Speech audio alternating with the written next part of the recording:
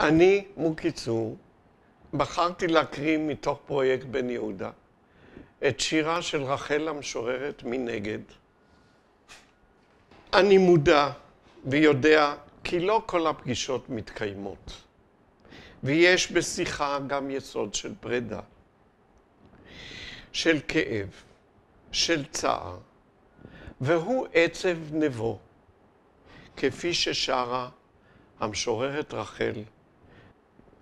קשוב הלב, האוזן קשבת, הבא, היבוא, בכל ציפייה יש עצב נבו.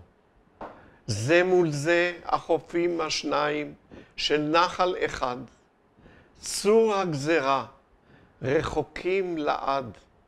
פרוס כפיים, ראו מנגד, שמה אין בה. איש ונבו לו על ארץ רבה.